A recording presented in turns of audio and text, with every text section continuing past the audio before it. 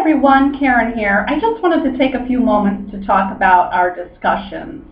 Uh, we want to use this area as we would in a classroom setting. So if you were sitting in a class and we were having a discussion based off of these questions, there would be a lot of dialogue, debate, and back and forth. And so that's really how we want to use these discussions.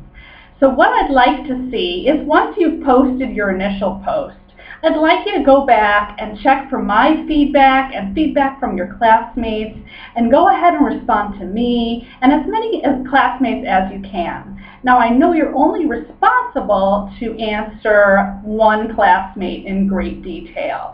But if we can get a great debate and dialogue going, I think that's really going to add to our learning and it makes the class a lot more fun. So that's what I would like to see happening in our discussions and I will see you on the board.